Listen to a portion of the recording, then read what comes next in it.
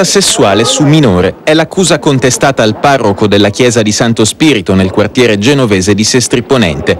Don Riccardo Seppia, 51 anni, sacerdote dal 1985, è stato arrestato questa mattina dai carabinieri del NAS di Milano per il rischio di una ripetizione del reato emerso, secondo quanto si apprende, dopo un'indagine su un giro di droga, il giudice per le indagini preliminari ha emesso l'ordinanza di custodia. Rabbia e incredulità tra i fedeli di Sestri. Don Riccardo è insieme a loro dal 1996. Ed è proprio in questa parrocchia che nel pomeriggio l'arcivescovo di Genova, Angelo Bagnasco, ha celebrato in via straordinaria la messa. Sconcerto e dolore ha espresso il capo dei vescovi. Le ipotesi di reato che andranno verificate, ha letto Bagnasco in un messaggio, riguardano comportamenti immorali su un minore e cessione di sostanze stupefacenti.